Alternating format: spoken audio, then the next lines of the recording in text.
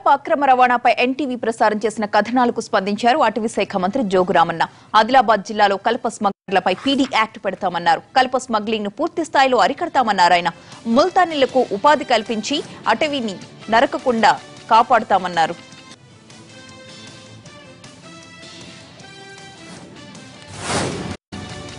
కరీంనగర్లోని మాతా శిశు కేంద్రంలో దారుణం చోటు చేసుకుంది. వైద్యుల నిర్లక్ష్యంతో ఒక బాలింతరాలు బాత్రూంలోనే ప్రసవించింది. చిగురు మామిడి మండలం నాగిరెడ్డిపల్లి గ్రామానికి చెందిన విజయ ప్రసవం కోసం మాతా శిశు కేంద్రంలో చేరింది.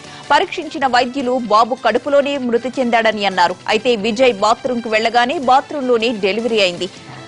దీంతో బంధువులు ఆందోళనకు దిగారు. ఆసుపత్రి ముందు రహదారిపై రాస్తారోకో చేపట్టారు. ఆసుపత్రిలో నెలకొన్న సమస్యల్ని పరిష్కరించాలని డిమాండ్ చేశారు.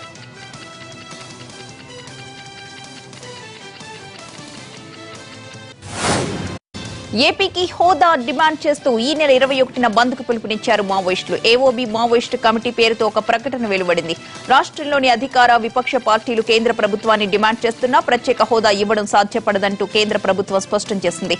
కేంద్ర ప్రభుత్వ మోసపూరిత వైఖరిని నిరసిస్తూ రాజకీయ పార్టీలు ప్రజా సంఘాలు వివిధ రూపాల్లో తమ నిరసనను వ్యక్తం చేస్తున్నాయి. ఇప్పుడు మావోయిస్టులు కూడా హోదా డిమాండ్తో బంద్కు పిలుపునిచ్చారు.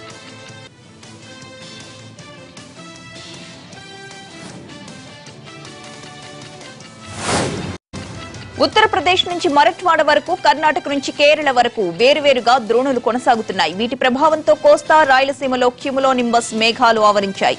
దీంతో అక్కడక్కడ ఉరుములు ఈదురుగాలులతో కూడిన వర్షాలు కురిశాయి. రానున్న ఇరవై నాలుగు గంటల్లో కోస్తా రాయలసీమల్లో ఈదురుగాలులు పిడుగులతో వర్షాలు కురుస్తాయని వాతావరణ శాఖ తెలియజేసింది. కాగా రాయలసీమలో ఎండ తీవ్రత పెరిగింది. మధ్యాహ్న సమయంలో వేడి వాతావరణం నెలకొంది.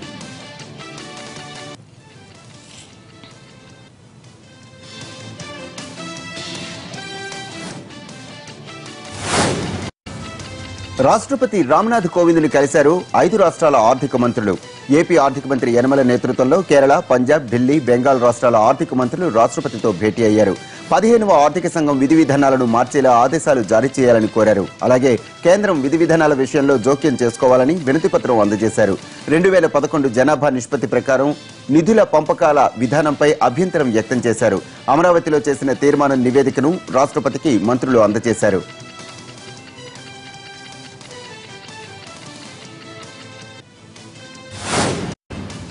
కావేరీ నదీ జలాల పంపిణీ ముసాయిదా ప్రణాళిక ఆమోదాన్ని వాయిదా వేయాలన్న కర్ణాటక అభ్యర్థనను సుప్రీంకోర్టు తోసిపుచ్చింది. ప్రణాళికను తయారు చేయాల్సిందిగా తాము కేంద్ర ప్రభుత్వాన్ని మాత్రమే ఆదేశించామని రాష్ట్రాలకు ఈ విషయంతో సంబంధం లేదని సిజేఐ దీపక్ మిశ్రా నేతృత్వంలోని ధర్మాసనం స్పష్టం చేసింది.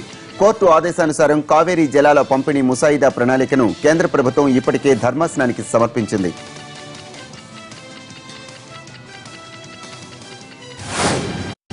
పెట్రోల్ డీజిల్ ధరలు మరింత పెరిగే అవకాశాలు కనిపిస్తున్నాయి. కర్ణాటక ఎన్నికల కారణంగా చమురు ధరల పెంపును వాయిదా వేశారు. దీంతో ప్రభుత్వ రంగ ఇంధన సరఫరా కంపెనీలు లాభాల్లో కోతపడింది. ఇప్పుడు వాటిని పూడ్చుకునే ప్రయత్నం చేయవచ్చునని ఆర్థిక రంగ నిపుణులు భావిస్తున్నారు. లాభాల స్థాయిని అందుకోవాలంటే కనీసం నాలుగు రూపాయలైనా పెంచాల్సి ఉంటుందని లెక్కలు చెబుతున్నాయి.